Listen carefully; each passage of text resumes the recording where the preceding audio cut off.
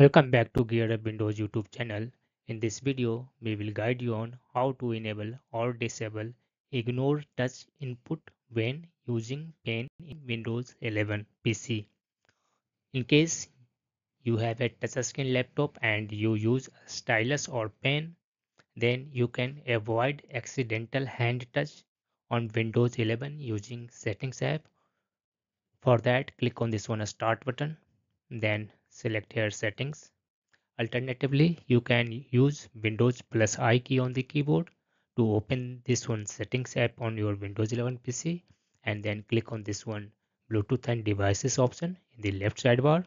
On the right, you will find Pen and Windows Ink. Click on this one option. Here, you need to uh, scroll down and find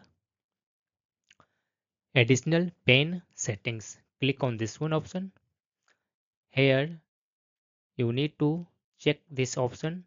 Ignore touch input when I am using my pen. In case you want to disable this feature just uncheck this one option. This will disable. Ignore touch input when you will use pen. That's all about this video. If you are new to our channel gear up windows kindly subscribe it. And if you love this video press thumbs up. Bye bye